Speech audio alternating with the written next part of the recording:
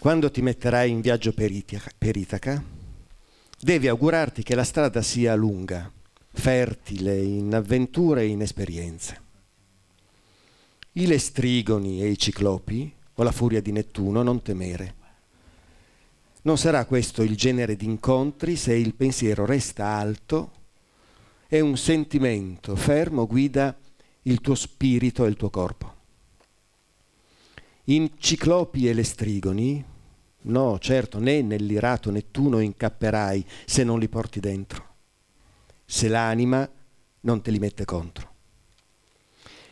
Devi augurarti che la strada sia lunga, che i mattini d'estate siano tanti quando nei porti, finalmente con che gioia, toccherai terra tu per la prima volta negli empori fenici indugia e acquista madreperle, coralli, ebano e ambre, tutta merce fina, anche profumi, penetranti d'ogni sorta, più profumi inebrianti che puoi, va in molte città egizie e impara una quantità di cose dai dotti.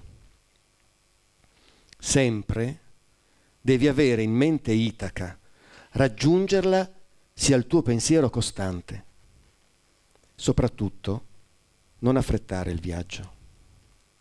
Fa che duri a lungo, per anni, e che da vecchio metta piede sull'isola tu, ricco, dei tesori accumulati per strada, senza aspettarti ricchezze da Itaca. Itaca ti ha dato il bel viaggio. Senza di lei mai ti saresti messo in viaggio. Che cos'altro ti aspetti? E se la trovi povera, non per questo Itaca ti avrà deluso.